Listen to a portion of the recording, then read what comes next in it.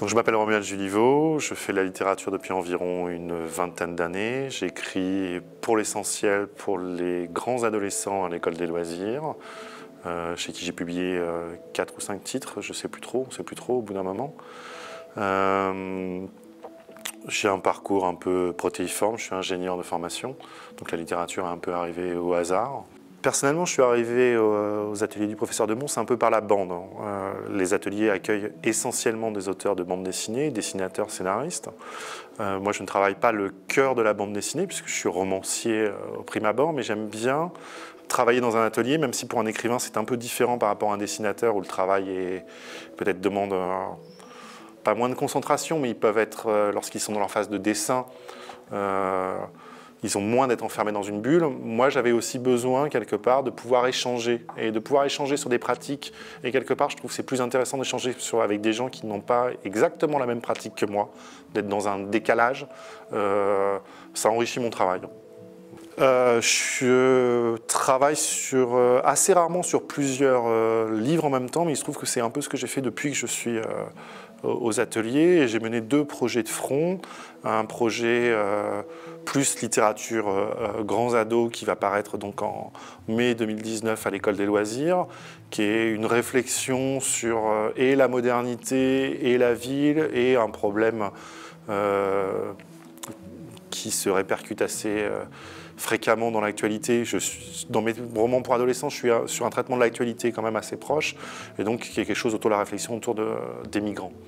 Et puis surtout, ça fait cinq ans que je travaille sur un très très gros livre, euh, qui est un roman pour adultes, qui sortira chez Anne Carrière à la fin de l'année, euh, qui est une réflexion euh, plus liée à mes origines, en lien avec l'Italie. Ça se passe, on peut dire, dans les îles éoliennes. Et ça, c'était assez intéressant de travailler, en fait, d'écrire ce roman au milieu de... Bah, de gens qui sont dans la culture de l'image, parce que c'est un livre qui est très inspiré du néoréalisme italien. Euh, la première idée, c'était de travailler, de retrouver le traitement euh, de la lumière dans des films tels que les films de Rossellini ou les films d'Antonioni. Et donc de travailler avec des gens, d'être entouré par des gens qui travaillent, euh, bah, qui travaillent l'image, voilà, pour écrire un roman où quelque part le traitement de l'image était très important, plus inspiré du cinéma que, euh, de la bande dessinée, mais voilà, il y a quelque chose, une filiation qui était assez intéressante, a beaucoup euh, inspiré ce travail et, ce roman. Ce qui inspire dans la vie, c'est les gens, avant tout. Je pense qu'un écrivain, enfin, Philippe Dian, qui est un auteur que j'aime bien, dit que depuis Shakespeare, toutes les histoires ont été écrites et c'est un peu vrai. Euh, tout ce qu'on peut faire, c'est se dire cette histoire, comment on l'écrit ici et maintenant dans le monde dans lequel on vit.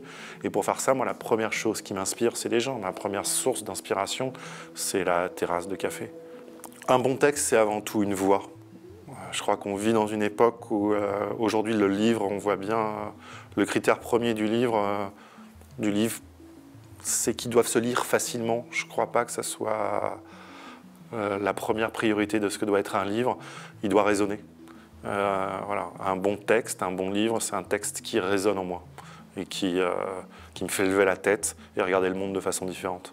Je ne sais pas quelle doit être la place de l'artiste aujourd'hui. Euh, ce qui est sûr, c'est qu'on n'est pas à la bonne place. Ce qui me dérange aujourd'hui, c'est pas trop de savoir quelle est la place de l'artiste, c'est la façon dont, l'artiste est un peu utilisé. C'est-à-dire qu'on voit bien que,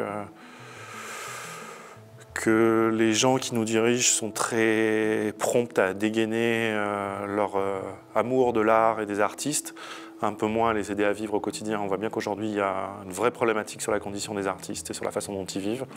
Et il serait temps que les institutions s'emparent de ce problème. Voilà. La place des artistes aujourd'hui, c'est de ne pas être mort. Et on n'en est pas loin.